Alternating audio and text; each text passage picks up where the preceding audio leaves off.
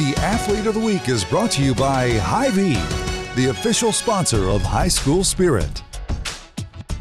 Calling Robyn MacDonald a mathlete is a compliment. I was one of our our schools, I guess, out of nine national merit semifinalists this year. So that was like really exciting just to kind of see how my like academic work has been like it's like a defining thing that I can say like I did this. I took econ sophomore year and I just I kind of enjoy like looking at the market and those numbers and being able to like take what I've learned in math and like Yeah. do things with those numbers.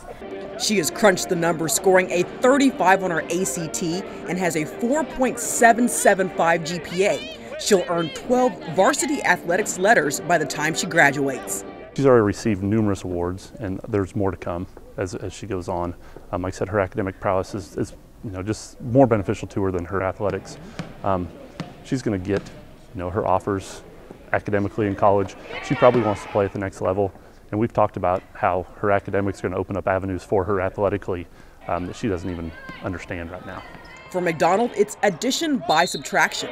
We lost 10 seniors last year, so that was like a big drop in players. And as like this year's senior class, it's kind of like scary going in saying that, but I think it's gone really well. Everyone, we have a lot of new players who are getting a lot of varsity minutes this year, which is really exciting. But everyone has stepped up really well. She and I had a lot of conversations before the season ever started about we've lost our main scoring uh, area, and she's taken upon herself now to step up. She averaged about four and a half points a game last year.